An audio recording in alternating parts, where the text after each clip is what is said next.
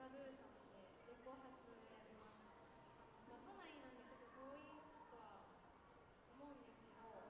そうですねえっ、と埼玉は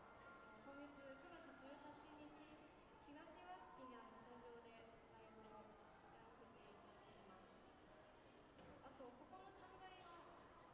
立ちは下村学さんにもそのうち置いてもらおうかと思うのでちょっと気にして